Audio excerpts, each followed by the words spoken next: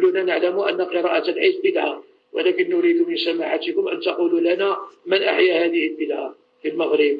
وهل هناك كتب تتحدث عن بدعية الحزب بالتفصيل ومن أحياها؟ ومعروف هذا في تاريخ المغرب أن واحد العدد ديال البدع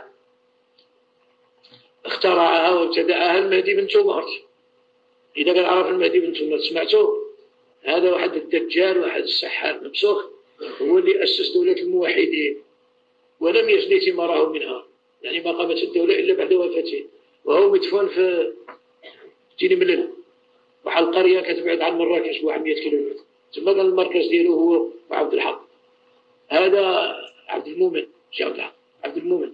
هذا المجرم هو اللي عمل أصبح ولله الحمد.